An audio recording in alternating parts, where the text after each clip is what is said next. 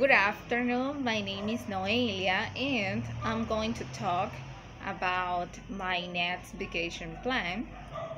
I plan to visit my family for a week with my husband, and I really enjoy going there because it is really it's it's amazing because they live in a in a beautiful place and there uh, I can be in contact with the nature and I can eat a lot of fruit. And I love the activities I can do with them. For example, we cook together, and that's amazing. And I love to spend time with my sisters too. They are so cute, and I, and I love them. So I really want to, to have a great vacation, and that is the best place for that. Thank you so much for watching, and have a great day.